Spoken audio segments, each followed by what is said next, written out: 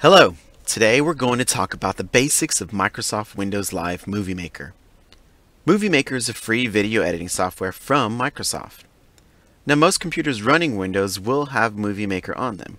If not, the easiest and safest way to get Movie Maker is to go to the Windows website and download it from their Download and Shop section. Movie Maker is great for movie creating and editing.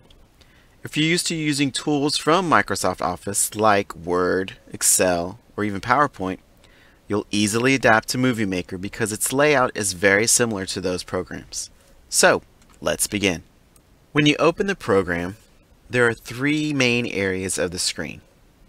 The first area, or the top area, will be familiar to Microsoft Office users as it will have the ribbon menu in its normal position. This allows the user to select different options, for the movie quickly. The second area, or the left side of the screen, is just a preview media player, so you can see what your movie will look like and sound like as you edit the project. Finally, the third area, or the right side, holds your photos and videos in the order they will appear in your movie. If you want a photo in a different spot, all you have to do is just simply click and hold and then drag it to where you want it. To select the most popular options in movie editing from Movie Maker, you can select the Home section in the ribbon menu. You'll see that just by clicking on a few icons, you can add videos and photos to your movie. You can also add music, narrate your movie, or you can even auto-create your entire movie to a specific theme. This option will have presets of transitions, panning, zooming, and even the flow of your whole project.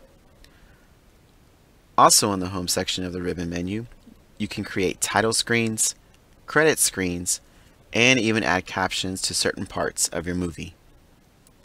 When you save your movie, you save it as a project so that it keeps all your photos, music, and the selections in one folder.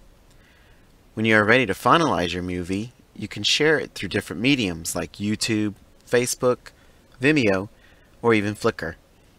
You can also create movie files to replay on your computer, your favorite mobile device, or just share them via email. I hope this shows you the basics and simplicities of Microsoft Movie Maker.